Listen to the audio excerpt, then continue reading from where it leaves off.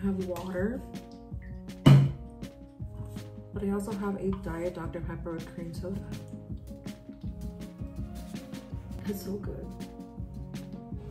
Hey guys, so today I'm going to be doing my long wearing foundation makeup routine. These are a couple of steps that I like to use, especially when it gets really, really hot and humid, which I live in Florida, so that is practically all the time. Um, especially right now, we're in June. It's getting really, really hot um, outside. It's raining all the time, so the humidity feels like we live in a swamp. I definitely have to take some extra steps to make sure that my makeup is lasting. My oils and my T-zone tend to break down my makeup within hours of me applying it.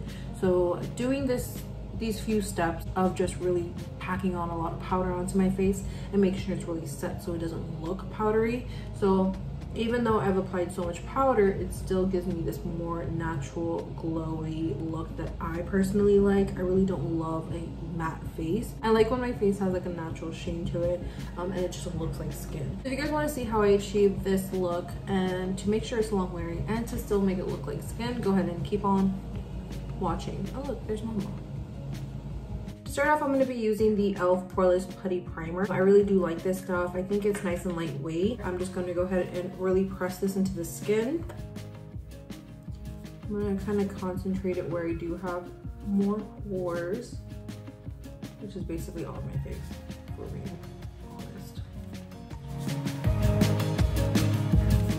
I usually would use a nice glowy product like the Milani Soft Focus Glow, but honestly, I've been getting so oily lately, I don't want to add any more glow, but if you do like that and you your skin can handle it, you can go ahead and add that before this, but I'm really just gonna work this in. And this doesn't do like crazy wonders for your pores. It kind of just creates a nice base for your foundation to kind of smooth over. I think I'm gonna put a little bit more right here in the cheek area where I have some of my acne scarring.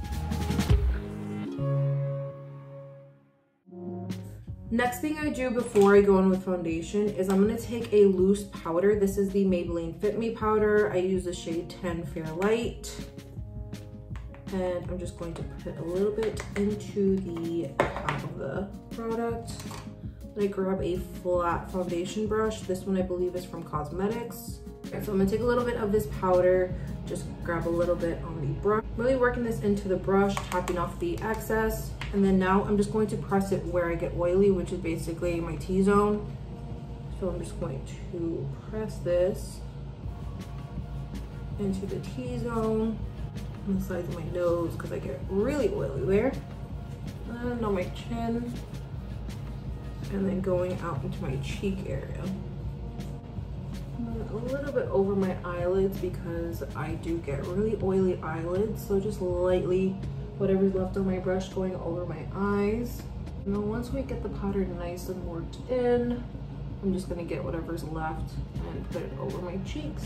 Because I'm gonna be putting a liquid on top of that, I'm gonna go ahead and set the powder so it's not powdery and foundation doesn't cling to it. So how I'm gonna do that is I'm gonna take my sponge, this is my EcoTools sponge. So I'm gonna spray some setting spray on there. My two favorite setting sprays from the drugstore that help really make your makeup last longer is the Milani Make It Last and the Catrice Multi Talent Fixing Spray. The, these two are really, really good for helping your makeup last longer. Lately, I've been really into this Catrice one. It's my newer one. I've been loving Milani. I think this is like my third bottle of this.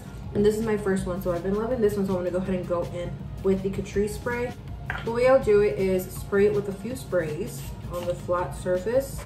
Kind of get the extra moisture off by pressing it into the back of my hand and then go in over the powder.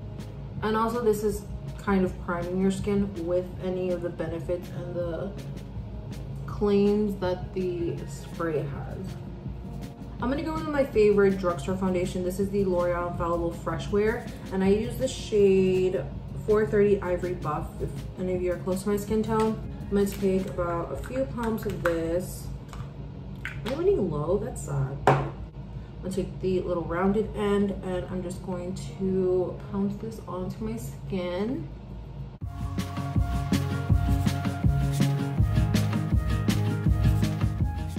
Like this foundation looks so good all day. It looks like it's exactly what the name claims, which is fresh I use the edge of this sponge for the nose area.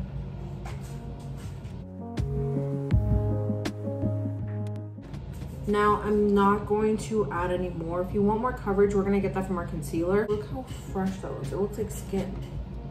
And it lasts really well. It wears really well. She really does act like her life is so hard. She's the most spoiled little baby ever. For concealer, I'm gonna be using the e.l.f. Hydrating Camo Concealer. This is my favorite concealer. So I'm just gonna apply it down the side of the nose, like this, and then a little bit right here. So I had a friend ask me for tips um, on concealer. She said that her concealer didn't wear very long and then it just wore really fast. And I asked her if she was wearing enough. Because sometimes you'll put like a little bit, especially if you don't love wearing a ton of makeup or this looks like a lot of makeup. But if you're not putting enough on, whatever little bit you are using throughout the day that's gonna break down. And if it's not a lot, it's gonna break down a lot faster. So if you're not used to using a ton of it, I definitely would go slowly and build it up as you go because as long as you're not setting it right away, you can always build up and add. So I'm doing this technique that's supposed to be lifting to the eyes. So you're putting it on the side of the nose, right here, and then lifting the eyes over here. So definitely putting on enough concealer is going to help this last longer and then really blending it out and not swiping it, just kind of dabbing it in. Now you can use this technique with your fingers, you can use it with a sponge, with a brush, whatever you have. So once I have my under eyes done and blend it out, I'm gonna go ahead and look at my skin and see where I want a little bit more coverage. I have some scarring over here, so I'm gonna cover that up. And I have a little blemish. I'm starting to get a bunch of texture over here, and I don't know why. Mm, anything else? Maybe a little bit on the nose and then only placing concealer where you want the coverage and not everywhere else is going to also help so your skin doesn't look so heavy.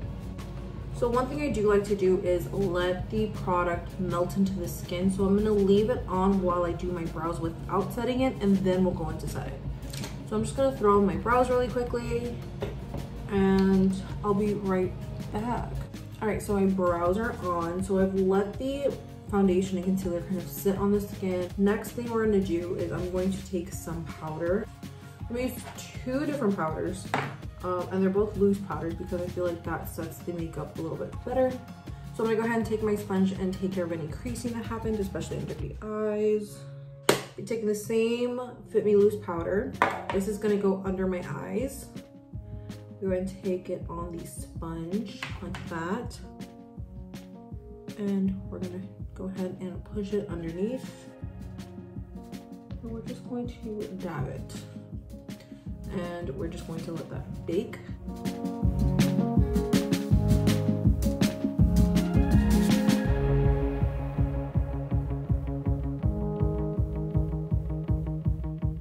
Now that we have some baking going on, we're gonna go ahead and set the rest of the face. I'm gonna be using the Maybelline Shine Free loose powder in light. Now, the only bad thing about this powder is there's not a bunch of color options. It's just light or medium.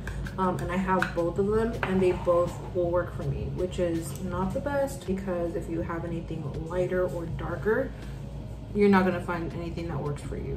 Which kind of sucks because this is a really good powder. I wish they would extend the color range, but this powder has been around for a really long time. Um, so who knows if they'll end up expanding it. All right, and now that that's been on for a little bit, I'm just gonna go ahead and buff it away.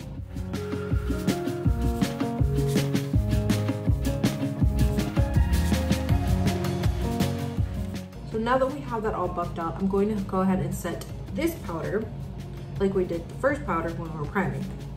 So same thing, grab your sponge, a few sprays, and then just go in lightly over the skin.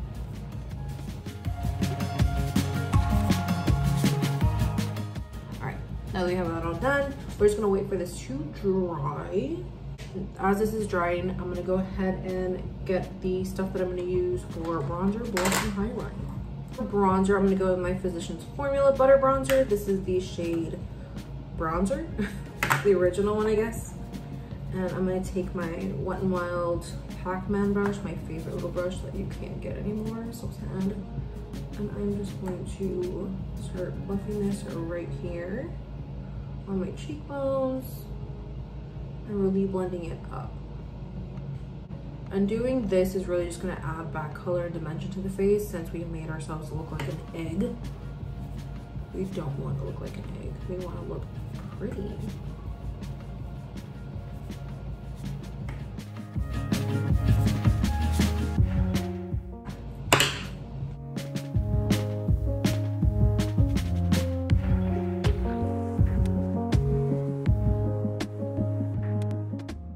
That you have three pounds of bronzer on, we're gonna take our Fit Me Loose powder, just a little bit on that flat edge. We're gonna go smile, back, smile,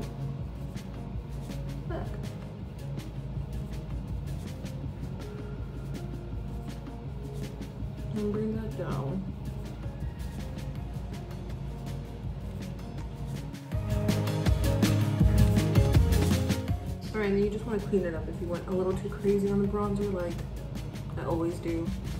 And then just buff out that line. This sponge has like a nice flat edge.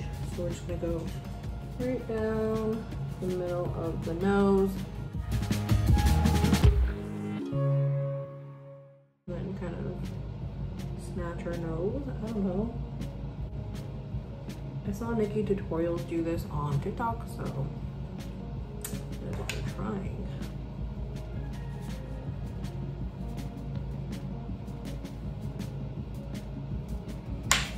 Does it look even different? I mean, it kind of toned down the bronzer, but I don't know. Did it make a difference? I hope so.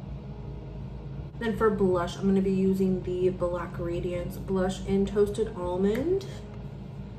Get this little blush brush, and we're just going to lightly apply this onto the cheeks. I feel like there's so many styles of doing blush now. Like you can do it like right underneath the eye, right here. You can do it like really high up. Um, I've just kind of been doing all of them. I put a little bit like right here where like I would naturally get a little bit of sun. Just like a little bit on the nose.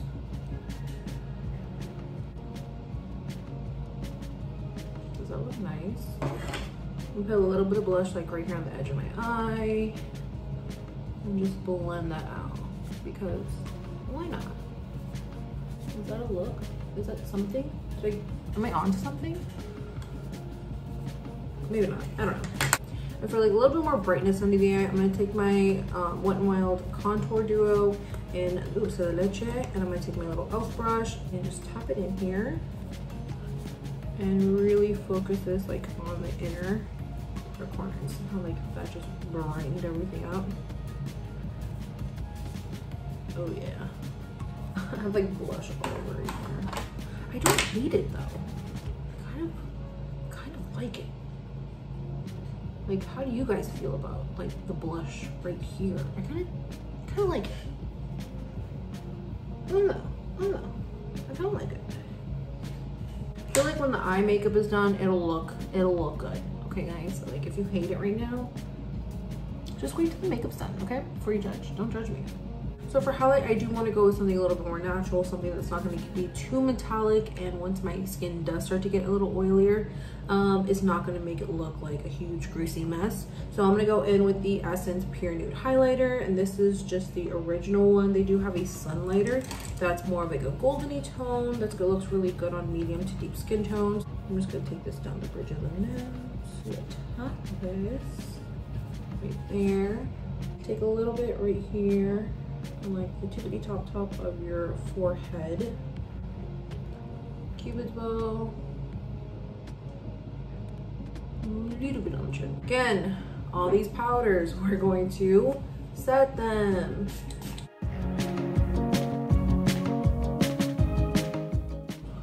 Again, we are setting our powders for the 500th time. And this is really just gonna ensure that our makeup is just like locked in. And also, it'll take any powderiness away so your skin doesn't look caked up like there's 5 million layers. And then also, look what this does to that highlight. It kind of just like melted into the skin and just looks like your skin is glowing. Like that's why I love this product. Look how pretty that is. I love using this highlight on my brides, on um, younger girls who are getting their makeup done. Um, I just think this is so pretty. A little bit of brow bone. All right, I'm gonna go ahead and throw on an eye look just really quickly. I'll be using the ColourPop Nude Mood, and I will kind of just show this kind of sped along. I think the first shade I'm gonna go into is Bare to Wear, right here in the corner.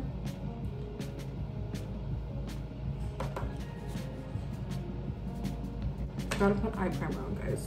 So let me just do it before. Wow, I almost forgot. I'm be going in with my Milani eyeshadow primer because I forgot.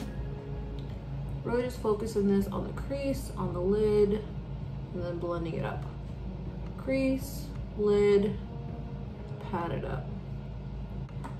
Can't believe I forgot that. Bare to wear.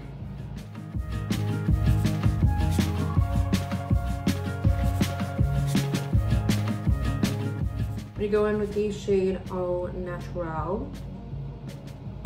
And then just take that on the outer corner and blend that into the crease.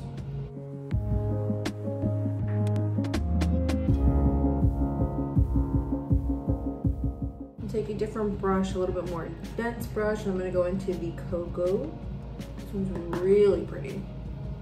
And it's just gonna go on the outer corner.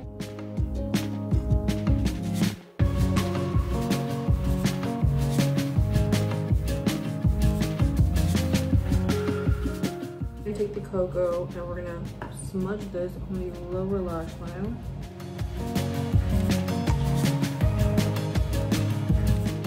I'm gonna take a little bit of put on, put on airs, put on airs, this middle shade right here, and just lightly tap that. Oh, that is so intense.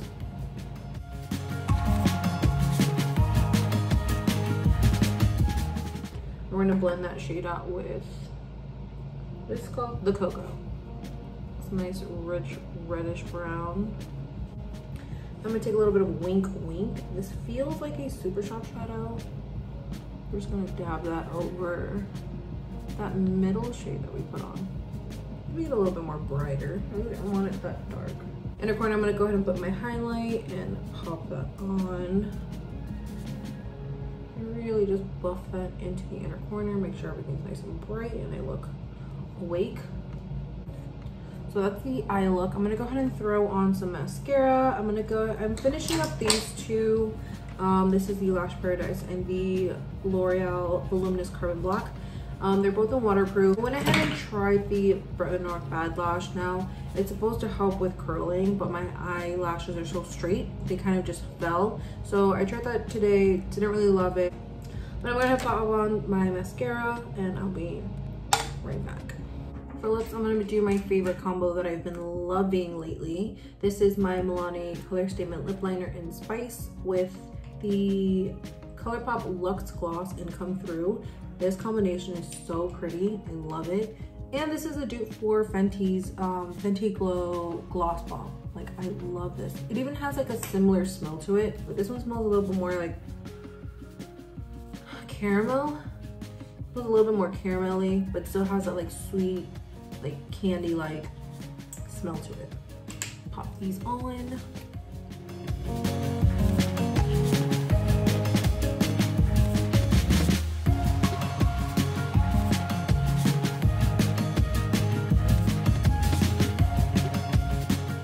It looks like line thing. It looks so weird. Let me just go across the middle.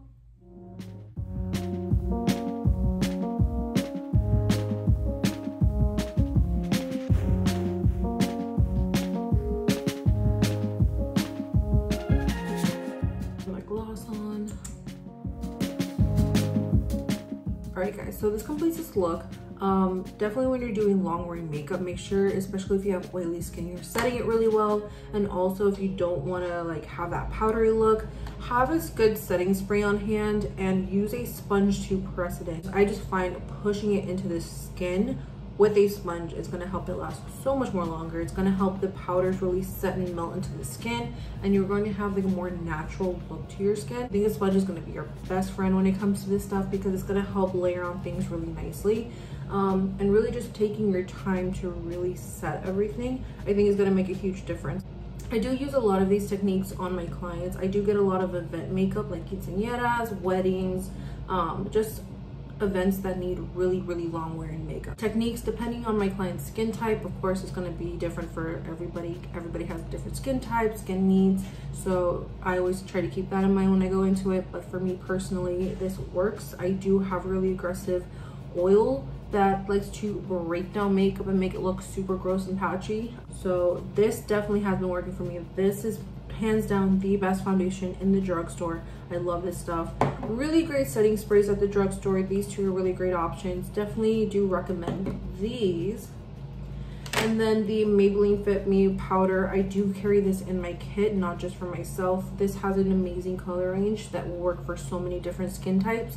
And it does have a little bit of coverage, but not too much where you have to have an exact skin match. So these are really, really nice. I do even love the tones that they have for deeper skin tones. All right, guys, that is it for this video. If you went ahead and liked this video, give it a thumbs up. Comment down below what you want to see from me next. Go ahead and follow me on all my socials, Instagram, Snapchat, and TikTok at Corina Sierra MUA.